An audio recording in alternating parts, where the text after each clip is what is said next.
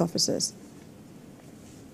The former spokesman of the People's Democratic Party, Olisa Metuh, has called on Nigerians to support the administration of President Bola Tinubu.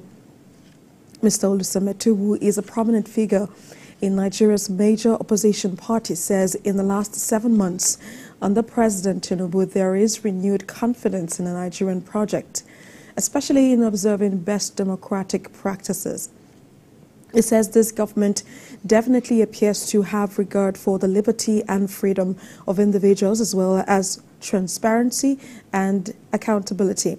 In a statement signed by Mr. Metuh, it says, quote, President Tinubu has demonstrated proactive leadership, a listening and approachable leadership that respects the sensibilities of Nigerians as well as the need to re-engineer our nation for greater multi-sectoral productivity, end quote.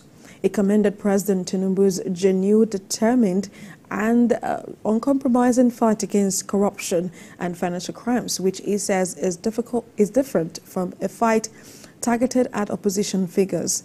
He called on Nigerians to support President Tinubu as, as his success is also a success for generations unborn.